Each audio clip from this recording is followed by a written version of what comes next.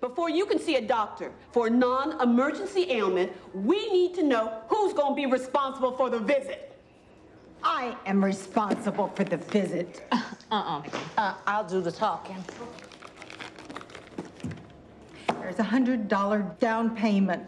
Now, please, may I see a doctor? Excuse me, don't you think you being a little... Little like a bitch? Okay, look, here's how this is gonna go, sister girl. This is our friend here, and her mouth hurts. So from here on out, we'll just do the talking for her. Now, we both know how this works, so let's get out those special papers, the ones for people who can't pay. We both know what they are. And you really need to stop acting like her bill is coming out of your paycheck, okay? So let's get to work so she can see a doctor, or me and my girl here are gonna turn this place out. And you ain't heard loud till I start shouting those isms.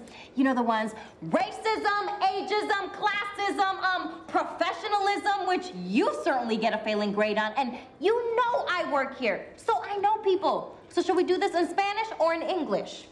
And did you want to add anything since you were supposed to be doing all the talking? Mm, you got it covered.